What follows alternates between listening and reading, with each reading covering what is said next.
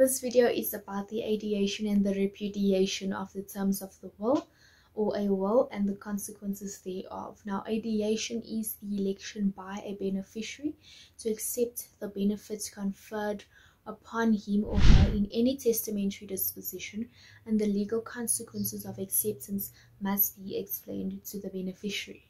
Now, the beneficiary must then sign a deed of adiation, which should contain a certificate by an attorney confirming that the consequences of acceptance and rejection of the terms of the will has been explained to the beneficiary, and that after such explanation, the beneficiary has deemed it convenient to accept the terms of the will. Conditional or partial adiation is not permitted in South Africa, unfortunately. And then repudiation is the opposite. It is the election by a beneficiary to reject the benefits conferred upon him or her in any testamentary disposition. The legal consequences of acceptance or rejection must be explained to the beneficiary again. Now, the beneficiary must then sign a deed of repudiation, which should contain a certificate by an attorney confirming that the consequences of repudiation and acceptance of the terms of the will has been explained to the beneficiary, and that after such explanation, the beneficiary has deemed it convenient to repudiate the terms of the will. Conditional or partial repudiation is not permissible in South Africa. Now, consequences of adiation and repudiation is that in terms of adiation, once the survivor accepts the will, massing of the joint estates takes place, and then the survivor loses his rights to the assets that he contributed to the massing. The disadvantage of massing is that the surviving testator will no longer be able to alienate or mortgage the property massed. He will also lose his ability to vary or revoke the joint will relating to his share of the massed estates. Now, if the surviving testator then repudiates or repudiates the joint will, the will shall only have the application over the estates of the deceased testator, and the surviving testator will not be allowed to receive any benefits from the deceased testator in terms of the will, and shall keep his own estate, which he may alienate as he wishes. Now, I am going to just give you guys a few examples of clauses which affects massing of estates in a joint will. The first one is that you will add, we provide that when the first of us dies, our respective estate shall merge as one estate, which we bequeath to our children. The second one is that we consolidate and mass our respective out of community of property estates and appoint the children born or to be born out of our marriage to be the sole and universal heirs of the massed estates, subject to usufruct thereover in favor of the survivor of us during his or her lifetime.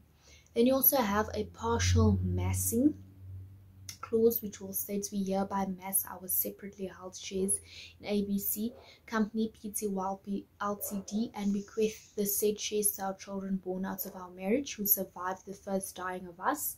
We bequeath the residue of the estate of the first dying of us to the survivor of us.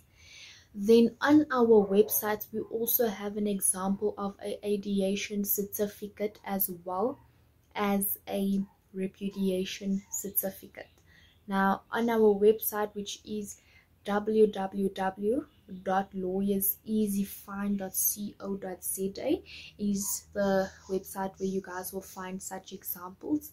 And then massing of estates involves involves two or more testators who consolidate a portion of their whole or the whole of their respective estates and jointly dispose of the consolidated estates in a joint or mutual will.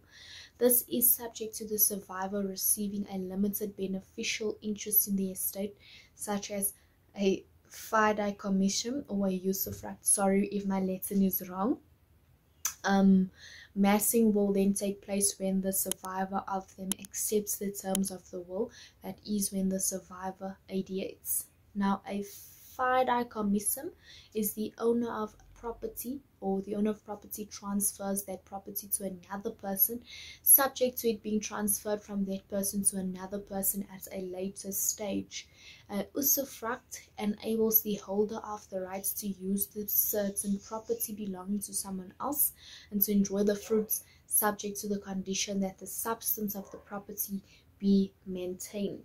Now, the estate massing is referred to in Section 37 of the Administration of Estates Act and should therefore be relied upon when considering the consolidation of two separate estates.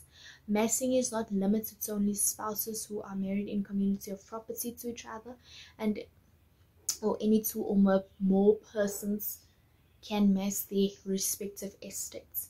When there is massing of only a portion of the joint estate, the survivor is at liberty to make a will dealing with the portion of the massed estate or of the estate that has not been massed. Upon the death of the first dying testator, the other testators will have an election to either accept, adiate, or decline, which is repudiate the will that is it for the consequences of adiation and repudiation of a will. If you guys enjoyed this video give it a thumbs up subscribe to our youtube channel and also follow us on our social media platforms which is facebook instagram and twitter. Stay tuned for more videos like